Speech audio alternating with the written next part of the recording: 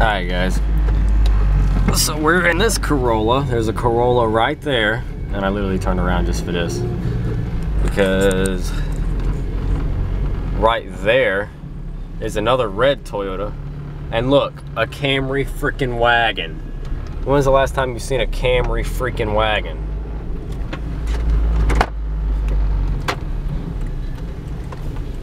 We're gonna turn around so that y'all can see that one more time.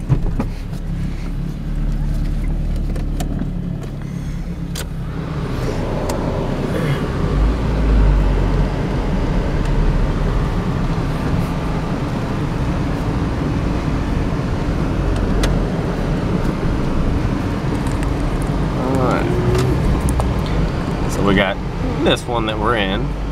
And then check it out. Camry wagon. Corolla.